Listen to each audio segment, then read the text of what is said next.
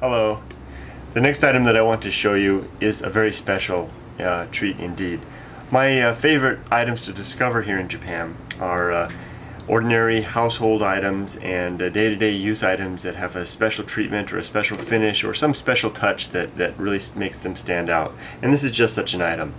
This uh, is obviously a very large bowl with an attached lid and the bowl is made of uh, solid wood and finished with a, a, red lacquer, a beautiful red lacquer and gold trim along the edges and decorated with beautiful, absolutely stunning gold and silver colored maki-e um, designs. Let's just go ahead and quickly uh, go over the bowl and uh, then we'll look at the designs themselves. The bowl is quite large and you can see that uh, the red lacquer all along here and then black on the bottom. The bowl is suitable for uh, service for a large meal, uh, perhaps uh, um, in, a, in a party setting and includes a traditional style lid that fits within the bowl. It doesn't actually rest over the over the lid over the bowl, but it actually fits inside. Kind of a nice design. The um, inside of the bowl has the, again the beautiful lacquer finish and we can see that there are some scratches. Let's see if I can catch the light there just right. The bowl has uh, seen past use and so does have scratches. There they are. You can see there are many scratches and marks. Uh, nothing too serious though. This one mark here that you can see uh, is just a little deeper but it doesn't go through to the wood. The bowl is indeed ready for uh, use again. Now the highlight of this piece is the maki-e finish. Now maki-e uh, Japanese lacquer work is one of those craft elements and artistic elements that sometimes uh, doesn't get the attention that I think it deserves.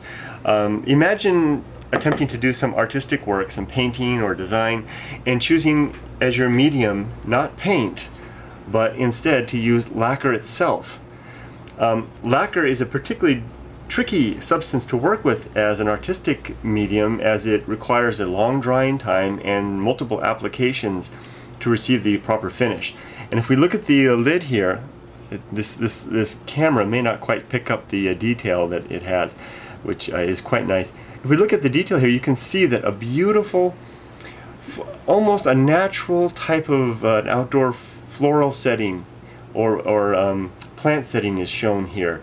Nothing too flashy, just uh, some simple plants with some simple natural blooms one can almost hear the hear the crickets. It seems like something outside our door by the river. Very very nice, very subtle in in a very Japanese way. But if we get in close and we look at the lacquer work itself, you can see that a great deal of work went into this. Look at the look at the beautiful details here. Fine lines. The uh, silver colored lacquer here and the gold lacquer here and I'll try to pick it up here. If I move it on an angle, maybe down here we can see it.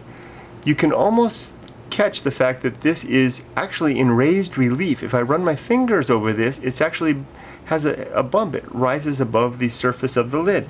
This is because the artist that created this did not do it in a single pass, but had to come back and apply multiple layers of lacquer over and over again, allowing a, a considerably long uh, drying time between each coat to achieve this effect truly is a work of art and a one-of-a-kind item. This is uh, very special and it really makes me happy to, to discover these items. Uh, the, the lacquer work, the maki work, is also seen on the side of the bowl itself. You can see beautiful, beautiful fine lines. Imagine the steady hand that it would take to make these lines.